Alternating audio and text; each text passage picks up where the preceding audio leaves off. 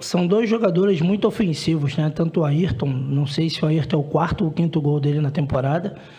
É, ele tem uma, um terço final de campo muito muito agudo, muito forte. Então a gente fez a opção de de repente trazer o Cebola e o Ayrton um pouco para dentro, o, o Ribeiro um pouco para dentro e deixar de alguma forma o Wesley que é muito agudo e o Ayrton também que é muito agudo. Aproveitamos as inversões de bola, né, muito bem, por isso que a gente conseguiu chegar no terço final, mas ainda faltou um pouquinho de capricho ali, principalmente do lado direito, para a gente conseguir fazer a bola passar numa zona clara de finalização.